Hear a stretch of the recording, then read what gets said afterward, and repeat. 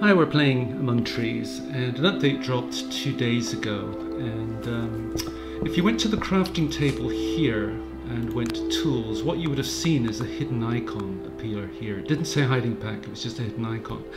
And I didn't read the update notes, so I just figured that was something that was going to come in a future update. But um, what happened was um, I was romping around the forest and I discovered my last piece of flora.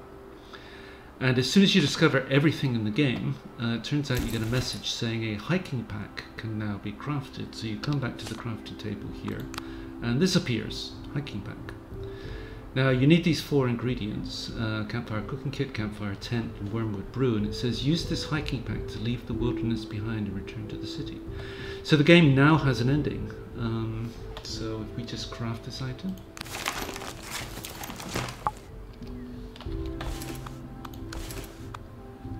Use this hiking pack to leave the wilderness, return to society. Sorry, return to the city, return to society, end game. So, game now has an ending. How about that?